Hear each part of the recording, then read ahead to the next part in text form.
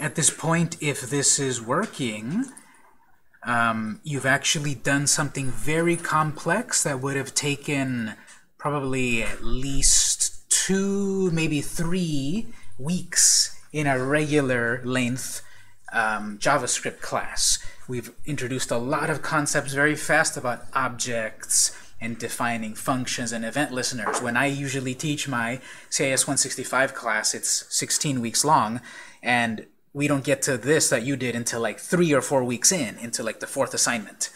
So we are looking at something very accelerated, but just to show you the basic concepts that this is the interactive language. All of the details of how it works, we won't have time to cover, but in the um, in the Canvas class, we've got various readings that will be very helpful. I've glossed over a lot. You know, here's the what is it, what's a variable, what are strings and functions.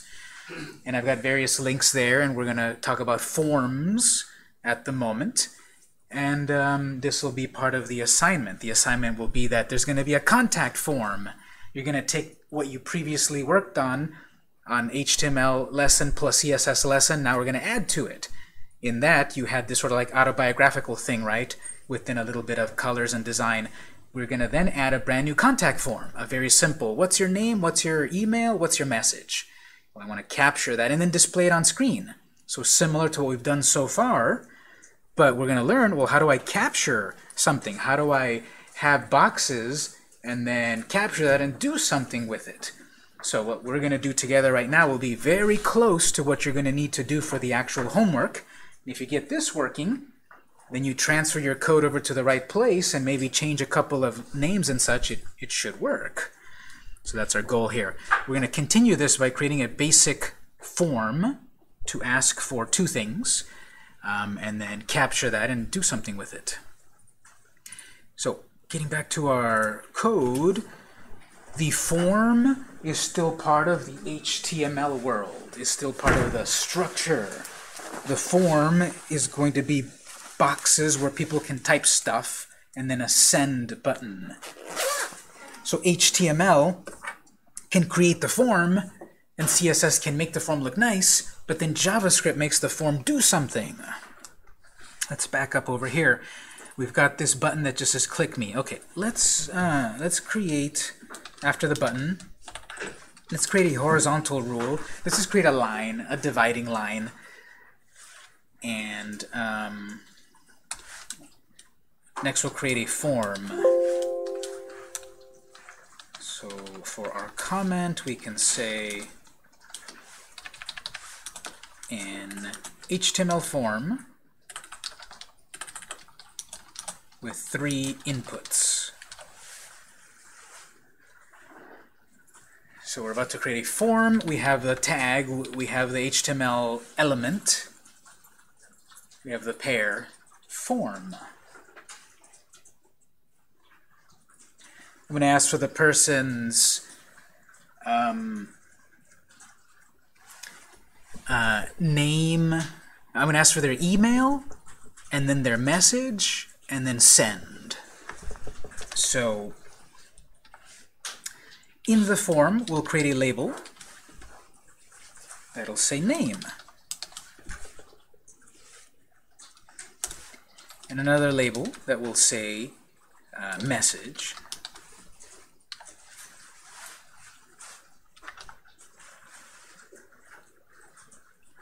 So on screen, the form will ask for your name and message. And then we'll create two boxes, which is an input. Each of these will be an input. So on one line, I'm going to ask for the person's name, and it will then have an input. And on the next line, I'll ask for the message. Now, inputs do not have a pair, so you don't put open input, close input, it's just input. Label has a pair. We're marking our text label explaining this input starts here, and then our text label explaining this input ends here. This, this input right here is for name, and this input here is for their message. And we've got another label that says write your message. So if I save and run that,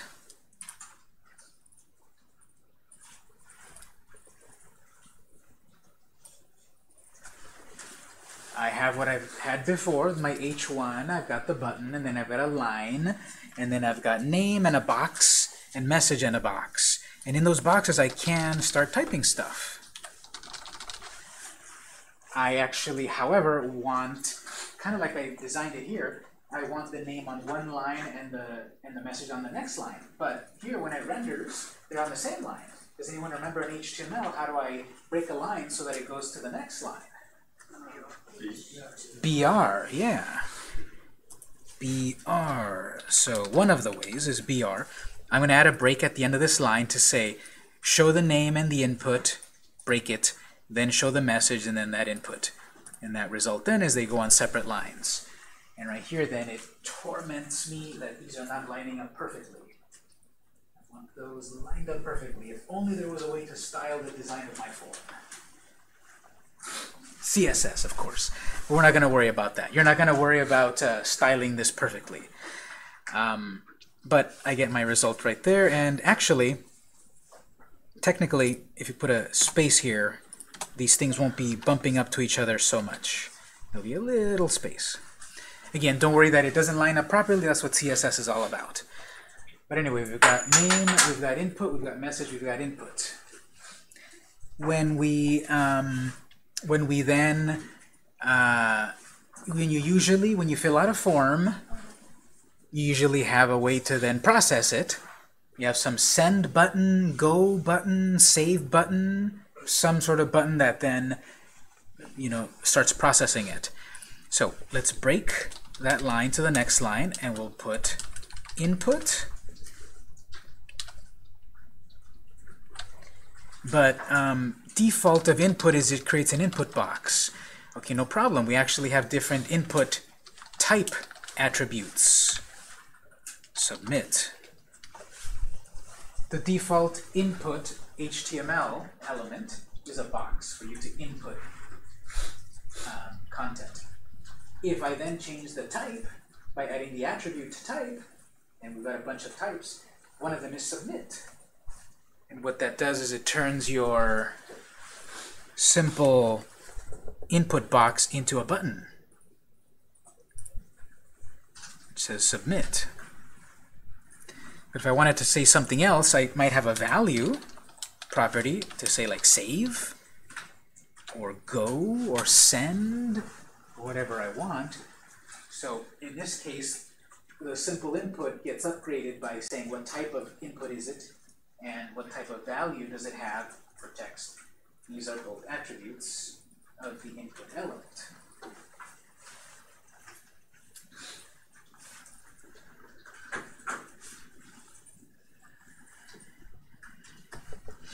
If I try typing something here and I click save, nothing really happens. It kind of seems like the screen resets. It doesn't actually send it anywhere. We haven't fully programmed that yet. That's where JavaScript kicks in. HTML is just concerned with making our form, and then JavaScript is uh, concerned with making it do something. But oftentimes when you're writing some sort of filling stuff in a form and you want to start over, what kind of other button might there be? A reset button or a start over or a cancel. So we've got another one. Let's add a new one at the end here. Input, but of type reset, and then a value of whatever you wanted to say, cancel maybe, or clear. You might see that. So now we've got a button that it clears your form, a button that saves or sends I want that to say send, or maybe you can make it say go, whatever you want. Go doesn't do anything yet. That's when JavaScript will kick in.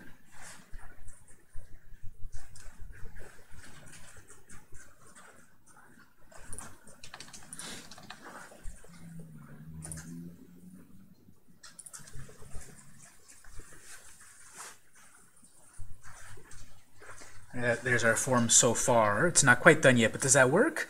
Are you seeing those input boxes? Are you seeing the buttons? Anyone need help? This is the form so far. We've got these labels that appear on screen. We've got these inputs. We didn't specify any extra attributes, and it worked fine. We need to specify a couple more. We'll do that. These inputs. So similar to creating the button, the button was super simple in that there's some HTML thing that exists, and we gave it an ID so that JavaScript knows it exists. We're going to do something similar to this.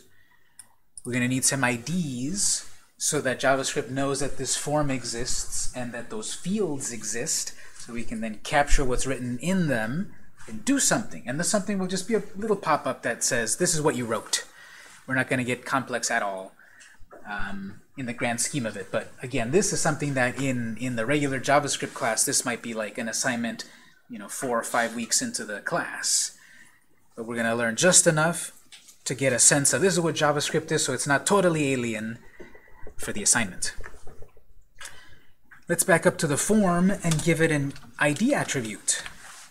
I'll call this FM for form. Call it user input.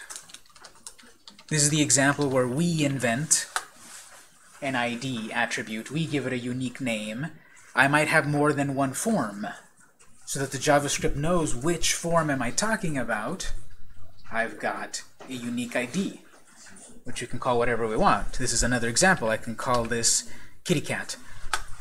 And as long as I reuse my code that I invented, it should work. Okay, so the form has a unique ID. We're going to do something similar to those inputs, but before that, this label needs an attribute of for, F-O-R. This label will be used for this input. This label will be used for this input. This text is related to this box. That's what for is about. I'm going to use this label for this input. Just because it's on the same line doesn't mean there's any relationship or meaning. This is giving it meaning. And I'll call it in name. This is an input that this is an input that is used, being used for something with a name of in name, this input. This has a name of in name.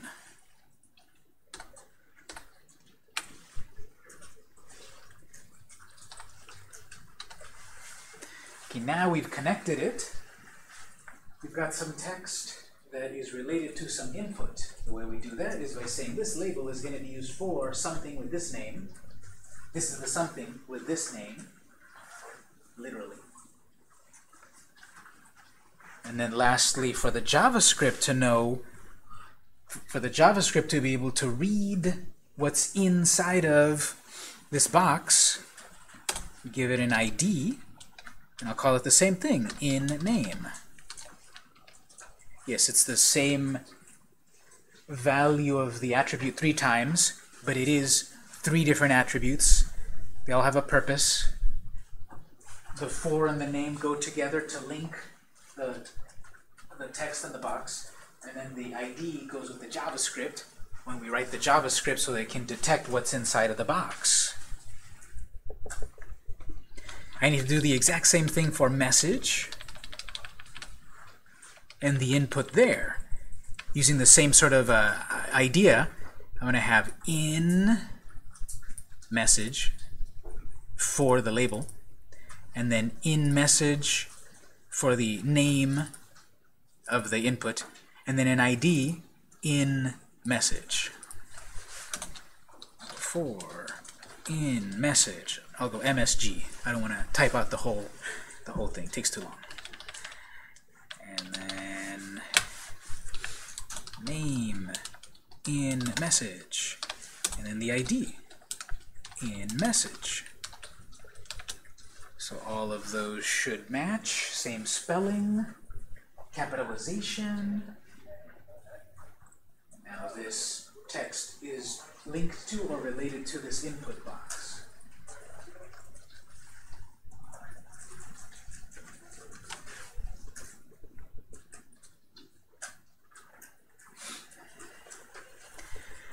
If I see my result in the browser, nothing really changed visually. This is just all behind the scenes. Clear should still clear things, and then go doesn't really do much yet. Ultimately, I'm going to press go, and then um, a pop-up will happen, and it'll just say, your name is whatever, and your message is whatever. So I'm still setting up my form.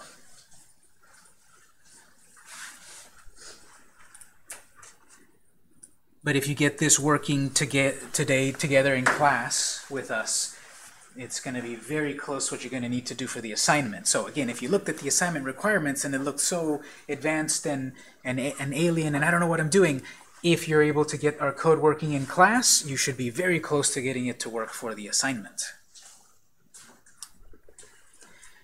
Okay, so is that working so far? It still looks the same as before. Nothing weird happened. And if you press F12, you should be no error messages. Okay, no errors. Good. If an error happens in the console, we need to fix that. And remember, it tells you at the end, check your line 37 or 12 or whatever. If there is some sort of big red scary error message, check the line number there and see if you misspelled something. It's very common that you misspelled capital letter versus lowercase, or you put a dot instead of a period, when it is it when is it a dot? When is when is it a period? Again, when you take the longer class and you practice and you learn it more, you know when is when, but it's a little too early to go into a lot of detail on that. Okay, so just like the button, this is this whole thing is kind of just like the button. This simple button here, we have content and an ID. This whole thing is has content plus some more than one ID, but then it's going to be the whole concept itself again. We create constants, we create our own objects based on the things that exist there. We then create an event listener on the event of the person clicking submit, do something. We create then our own function, and our function will be a pop-up or play a sound or change the color to red or do something. So let's go back to our JavaScript area. And we will say create the object, aka constant, for the form. Create the event listener to wait for a click on submit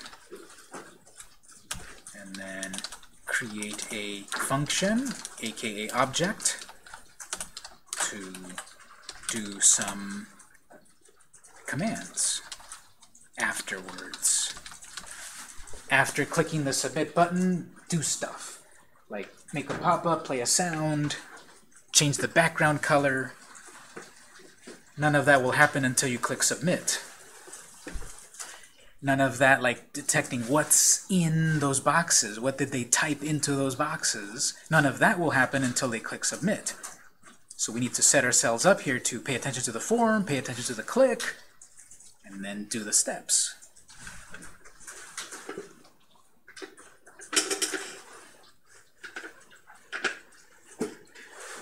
That's the idea that I'm trying to do here, so I wrote it as a comment then I have to write these specific commands of JavaScript. A lot about what programming, learning a programming language is, is how do I take a human concept that I can explain in human words and translate it into the machine language of the particular programming language? Because in one language you might use const, constant, on another language you might use var, variable, and another language you might use, I don't know, whatever. But every language might be slightly different, but all of them do very basic uh, similarities. So const, let's create a new constant. We will call this lfm um, user input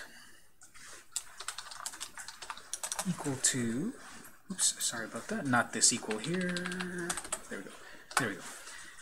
See how the color was a little off constant space, whatever we want to call this, this you might say, well, why don't I just call it exactly the same as what I have it up here? Up here, it's called FM user input. You could call it there, but calling it the exact same thing in two different places could be confusing. Am I referring to the version in HTML or the version in JavaScript? So I usually add EL at the beginning to show this JavaScript object is based on an element of HTML. And in the HTML, I have a lowercase f, and that'll work just fine too. We're inventing it at the moment, so call it what you want. But it's very common that when there's the names of these things that you invent, usually the second or more word is capital. It can all be lowercase if you want. You just have to keep it the same. Same as before, document dot get element by ID parentheses semicolon. We're dealing with a more complex form, but the idea is exactly the same with the simple button. Let's create a constant about a button. Let's go find the button based on its ID. Let's create a constant representing the form. Let's go find the form by its ID. What goes inside of the parentheses? What's the ID of the form? FM user input. FM user input is the is the ID that we gave the form.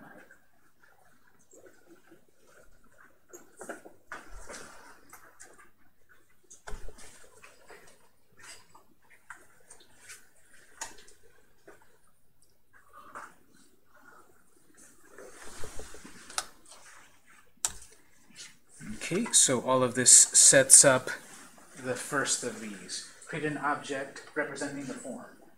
Next, create an event listener to wait for a click on submit. Similar to what I did above on line 42, we have the name of the object that we just created, get, or not get, um, L, FM, user input dot add event listener,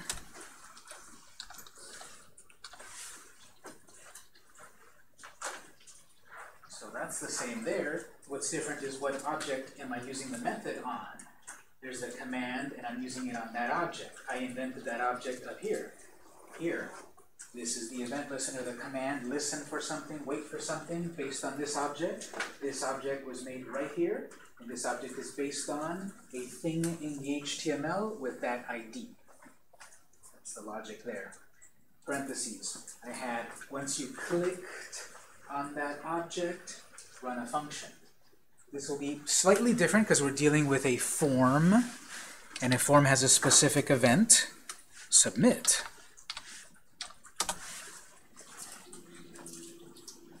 When it detects the submit button, even though we called it go, ultimately up here, there is a input type of submit. We called it, it says go. You can say anything but this is a this is a submit. When it detects that the submit has been pressed on this form, this form is made from finding the thing with an ID. Once we detect submit, comma, run a function. Up here, we ran a function called clickMe. Then we said, what does clickMe mean? We defined it next. So here we'll make up a function called fn, short for function, user input.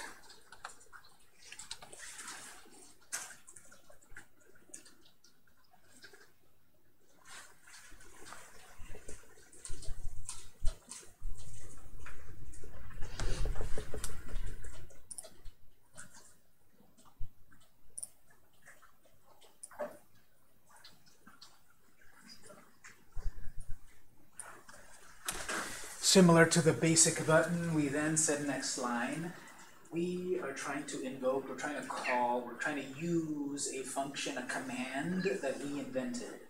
Let's define what does that mean right here. Function of that invention is the following result. So next line, I use the function keyword, and then fn user input, parentheses, curly braces,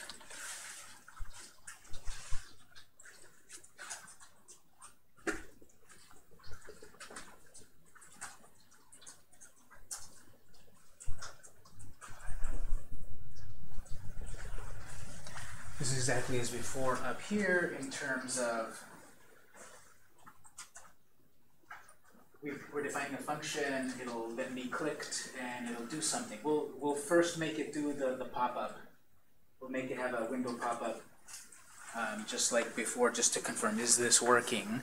And then if we confirm that it's working so far, then what we have to do is actually read what did they type into this input?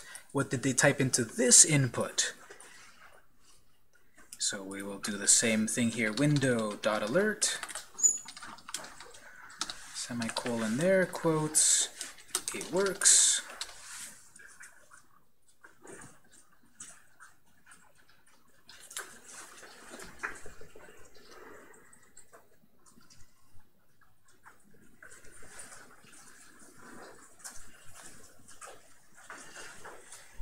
Okay, save it and run it.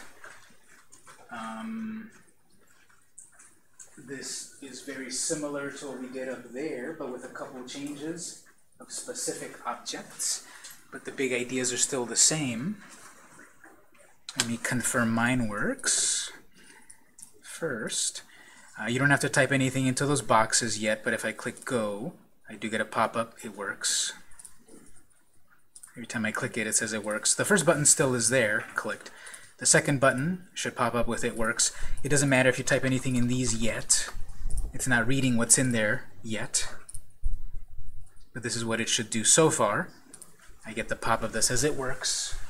Let's pause there. We did a lot of writing. But this is 99% the same as this. It's just that the particular object names are changed, or IDs and such. Pause there. Did anyone need a, uh, yeah, question? Everything else is working for me except the pop-ups. When I type it, it's on the um, Visual Code Studio. So, uh, some of those pop-ups so far have not. Can you press F12?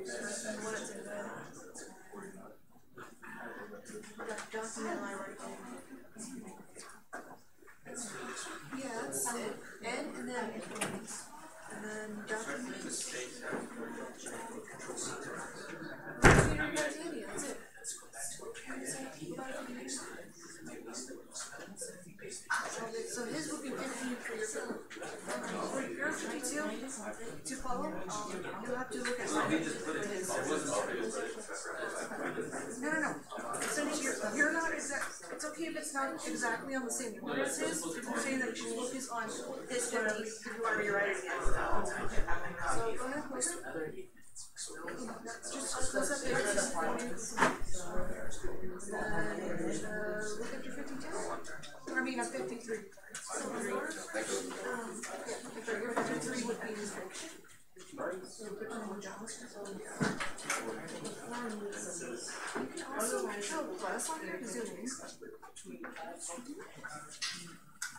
So the ID is the identifier. Control plus? Uh, no, no, no, control and then the plus sign.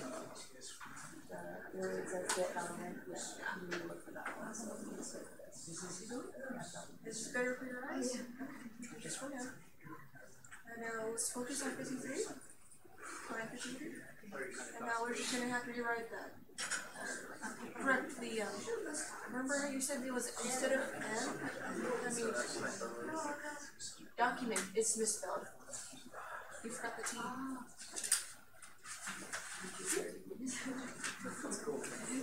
Yeah, see now it's, you know, And then, let's just double check that ending. Yeah, just one letter in. So it's like clouds,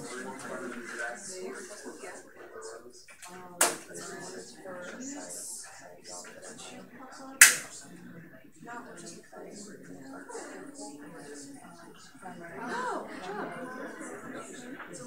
Let's just double check the coding uh, twelve. Uh, Look through there, but I'm close to Good, see, nothing. Go ahead and look the elements if you want. Hover over this one. Here. And it shows you what's highlighted in his.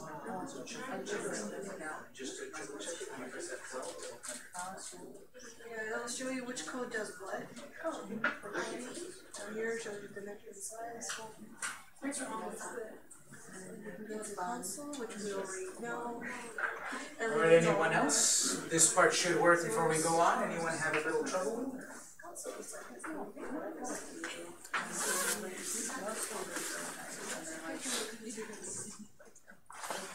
All right, so if this worked, let's do a little bit more.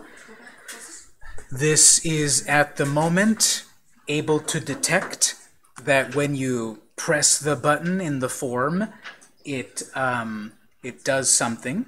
It makes a simple pop-up. But I just don't want it to say it works. I want it to read what was in those boxes and make that appear on screen instead of it works.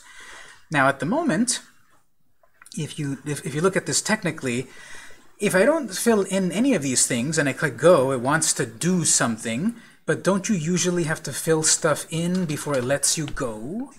Isn't there usually the requirement of filling things in? So we can add an attribute um, to say, make sure that the person typed in something into the name and the message before allowing it to go. So we'll back up into the HTML. Um, this input so far, name and message, they're not really caring if they get filled in or not. So we'll add a new attribute. Input, and it has a name and an ID. We're going to add a new attribute. I'm going to add it before name required equals true. I'm adding it before name and ID, and the order of your code does matter usually, but in this case, not, not really technically. But I personally like to leave the name and the ID as the last attributes because I often have to go back to refer to them. And if I leave them at the very end, when I go back and scan through my code, what did I call that thing? Oh, there's the last thing, I can find it easily. I could have added required after everything that's already there, and it would have worked fine. In this case, it doesn't matter the order. But again, I personally, when I when I do this in real life or teach this, I like to leave name or ID as the last ones because you can find that easier. You don't have to refer to required very often, but I have to refer to ID or name all the time. And leaving it at the end lets me find it faster. So now I'm saying the name is required. What do you think you do for making the message required? Same thing. So let's go to the input of the message and also required equals true. Now when you try to submit the form without filling anything in, it should give you a pop-up, please fill out this field. So everything else is the same, but now with the, these two required attributes, it, it, automatically then does a little bit of um, conf confirmation, error checking that you didn't fill this out. And so if I do fill in the first one with whatever, and then try to go, still says that one's got to be filled in. Then when I fill out the next one, they both got filled in, it works.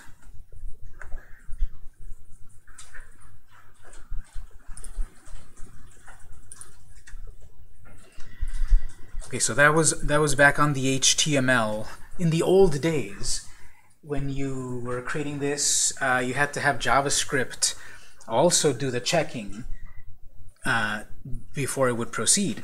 And now in more modern times, you just add that attribute required true, and by itself the browser knows, let's check it, is it empty or not? So we don't have to write, it used to be like really like a dozen more lines of JavaScript just to confirm, is it empty or not? And now we just have required is true, and that's it. What we still have to write is, let's look at what was typed into the input. Let's get the values or the data that was inside of input and do something with it. So, back to our function over here, the one that says it works. And usually a function will have many sub-commands. Right now we just have one command, alert just like up here. But usually a function that we invent will have more than one command. So we actually should back up to where we have that, uh, that window. Let me just zoom in here to see it. And press Enter to break it to the next line. And then the curly brace, break that to the next line. This is much more common that we're saying. Let's create a function. Let's create a series of steps. This is the name of it we start the series of steps, the code block, next line, all of our 1 to 100 lines of code, whatever, and then the end of our function. This is equivalent to this being on one line. We usually want this because we have more than one set of commands. And because we're going to lose track of this curly brace all by itself there, what I usually do when I teach this is to then write a comment here that says end of fn user input.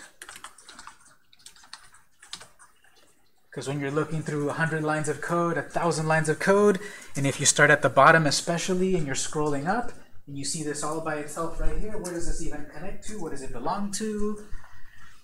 Yeah, the code editor oftentimes, if you click on it, it does highlight where it starts, and it's just right there, two lines away. But again, if I had a bunch of lines of code like this, don't write this, of course, but if I have it like this and I click here, I might have a hard time. Where does that start? Well, because I made the note, this is the end of my user input function. I should be able to pay better attention to it. Okay, so let's actually do something before the pop-up. The code runs in order. I don't want the pop-up to happen before I've checked what's in the box in those inputs. If I make the pop-up and say, show me what's in the name box, and then I say, check what's in the name box, you get an error because it runs in sequence. We will first say, check what's in the name box, and then pop up to show that. So we will say, comment, check what's in the name input, and store it temporarily in memory.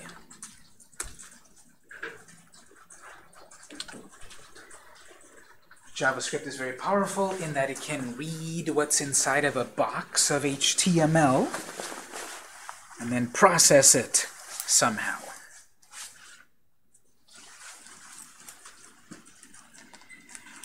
The default is that all of the all of this stuff in, in memory is temporary unless you save it to a file or a database. This is just floating around in the memory. It's temporary. That's the default. So we're going to check what's in the um, in, in those boxes. Uh, we use we do that by uh, creating an object. I'm going to create an object that will temporarily store what's um, in the uh, in the input field. We use the keyword first of all, let, sort of like let me remember this. Let me remember what's in the box. And here we make this up. So we will say um, val in name equal to. Let is a way for us to keep track of data. Let me remember this in the computer's memory. And this object has whatever name we invent, kind of like constant up there. And we set it to what's inside of that input field. We have to find that input field. In the document, we will get an element by its ID.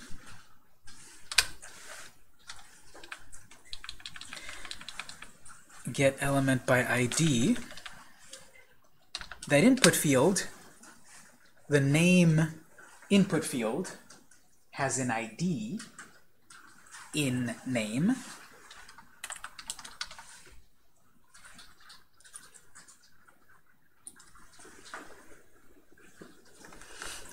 Dot value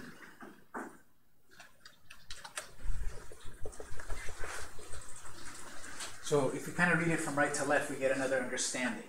Let's check the value. Let's check the data that's inside of an input field.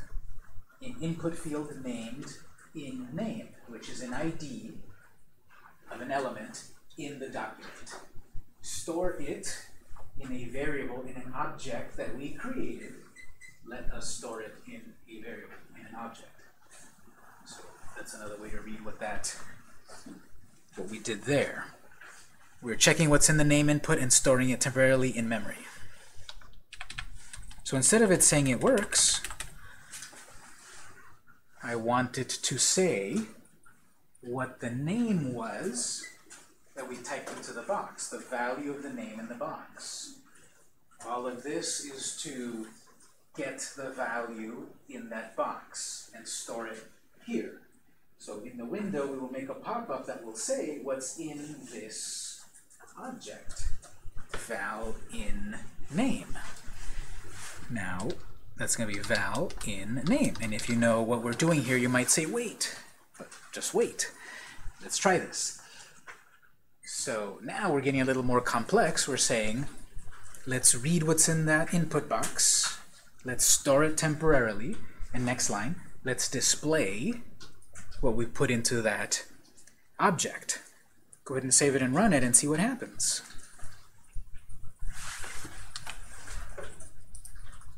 You have to fill in those boxes.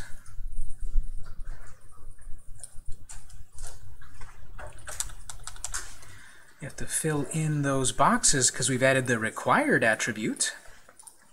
Going to put my name, a message, click, hell, uh, click go, and then we get a pop-up, just like I expect, but then what popped up was not what I expected on purpose.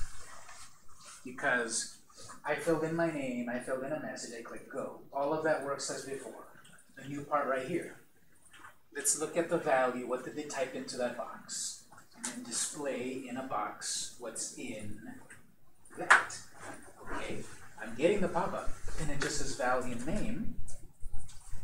Because right here, in previously when we wrote quotes, that was a string, and when you go through the readings, it'll explain in detail what's a string. And it literally said the name of the object instead of what's in the object. So that object that we created on line 54 val in name, it's like it's like a container, it's a box. This is one of these variables. This thing could be holding, um, you know, books or um, pens or whatever. This object can hold stuff. But this object can be defined, but what's the name of the object? A box. Or what's inside of it. If I put in quotes the name of the object, it'll show me the name of the object. I don't want to see what the name of the object is. I want to see what's in the object. Take away the quotes, both of them, and try again. Quotes is a string, and when you go through the readings, you'll understand it more completely. But take away the quotes and try it again.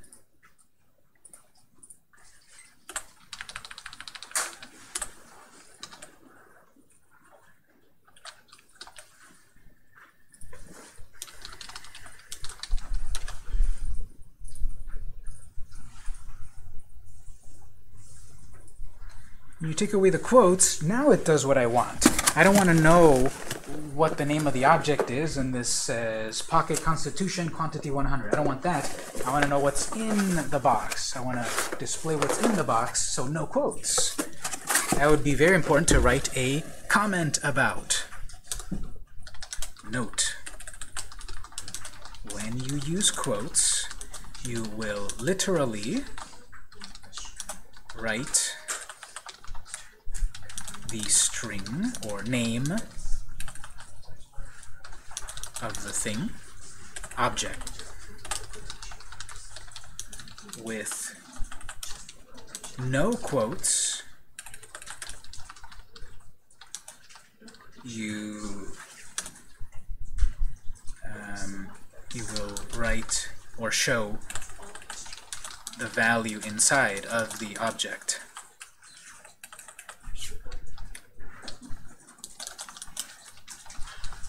When you use quotes, you will literally show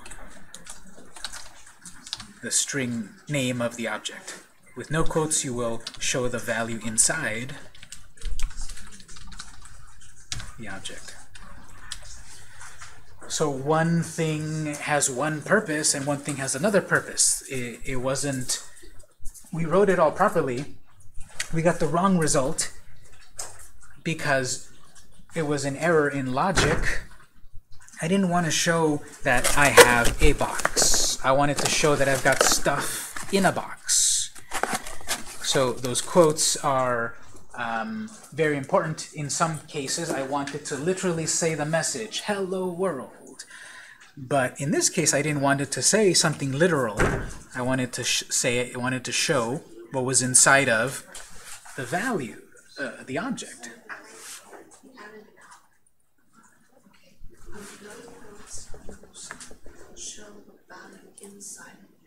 So when that pops up right here, I get the value inside of the box. Great. But I don't just want it to say my name. I want it to say something else like your name is, and then every time dynamically, whatever the person types will change. So in this alert, it'll it'll write into the pop-up exactly what we tell it in there. So I wanted to also say, your name is, and then what's inside of the variable, what's inside of the object. So here we'll write quotes. Your name is plus. So now the pop-up will say the message literally here. Your name is. This will never change. It's in quotes. And then plus sign. And then displays what's inside this object. This object has some value. Every time we click go, it'll check it again. Every time we press the button, it triggers. There's the event listener. Every time it triggers, it checks it. Every time we press go. So every time you type a new name in the box, it'll check a new value and say the message. It'll always say your name is, but then what's in that variable changes. Now try that.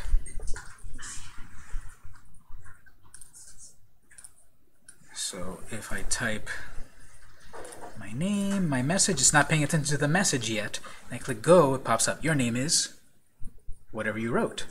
If you if you uh, if your name is right next to the colon, if there's no space, well, you also need to write a space right here. I wrote a space. I didn't tell you just to see if you noticed. But if I don't put a space there, it'll do exactly what I told it. It'll say your name is, and then right next to it will be your name. If I want a space between the colon and the name, I need to put a space there. This is an example that proves that computers are dumb. Because of course I want space between things, logically. But unless I actually program that empty space, and the thing about spaces in a programming language is space is not nothing. It's still one byte of data. A space is actually internally ASCII character number 32. There's a whole list of all of the letters, including spaces. So even spaces take up data, one byte of data. And one byte doesn't sound like a lot because, you know, nowadays we watch uh, videos that are like gigabytes long. A gigabyte is a billion bytes. A megabyte is a million bytes. So imagine one billion of those little spaces equals one gigabyte. And that's like, if you have your flash drive, how big is your flash drive? 8 gigabytes, 16, 32, whatever. So that 32 gigabyte flash drive can be filled with 32 billion empty spaces. It's pretty interesting. Okay, window alert is saying a message plus that. Uh, we asked for two things. Their, their name and their message. Based on what we've done so far, we have the knowledge to capture the name and display it. Based on what we have so far, we should be able to capture the message and display it. So right here we said let. Let's create a variable. Let's create an object. Let's create another one. Next line. Let val in message equal to document dot get element by ID quotes in message dot value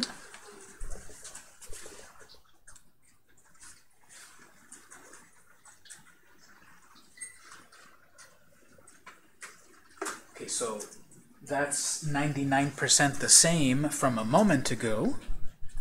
What has changed is, what is the new object called that I'm inventing? You cannot use the same object name over and over, it'll get confused.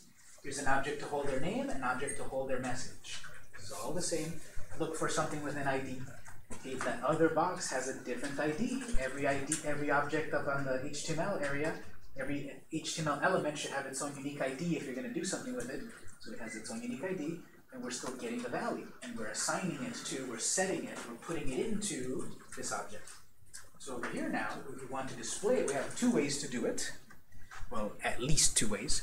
One is we just make another window alert, your message is, But that'll make two pop-ups. Do I really want two separate pop-ups? Or do I want to put both of that data in one pop-up? Let's take a quick vote right here. We have those two options. Make two pop-ups or use one pop-up. Raise your hand if you want to make two pop-ups.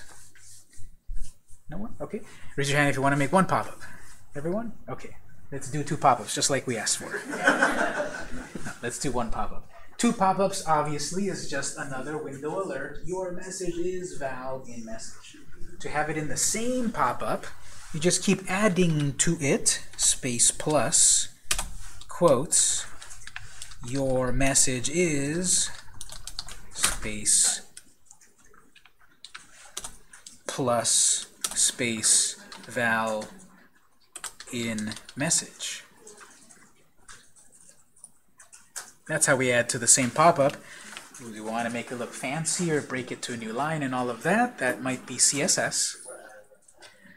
But here we're just adding more. The plus in this case works differently than 1 plus 1 is 2.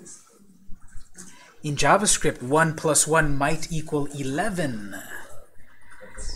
And we're not going to mention why yet. But here I'm saying make this text, static text, and then show this object value, and then show more static text, and then show the value of the next object. Go ahead and save and run that. Fill in both boxes.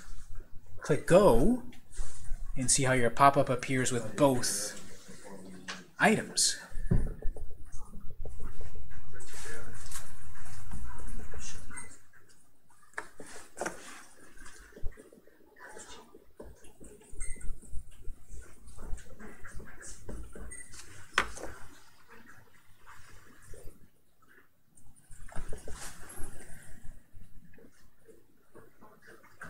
Let's see that. So I'm going to save it and run it, confirm that it works how I should think.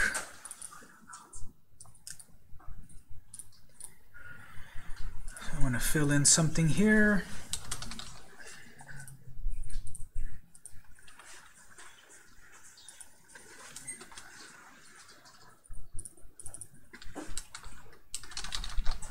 Click go. Your name is this, your message is this. Whoops, but here's the example about how computers are dumb. I at least didn't want that to be right next to each other. Maybe I wanted it to its onto the next line. Well, you never told it, so it didn't know what you wanted and it did nothing. So, to kind of clean it up a little bit, you could put backslash n space. Now that's a backslash. Regular old slash looks forward like that. That's the one that you always see with HTTP colon slash slash. That's a, that's a slash. If you ever say backslash, I'm coming to your house, because that's not a backslash. That's a backslash. It leans back. It's right next to the um, backspace. So that's basically saying, now let's create a new line, like break, kind of. Let's write this message, and then it's break. Why isn't it BR? Because that's, um, that's uh, HTML. This is JavaScript. And so it breaks to the next line or new line. And now when I test it,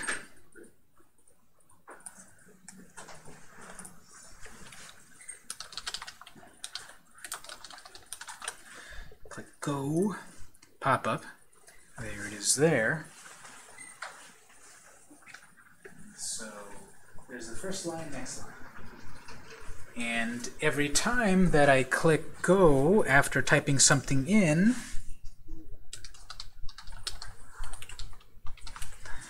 click go, it pops up with the new data. There's part of it that's static, that never changes, and then there's part of it that is dynamic.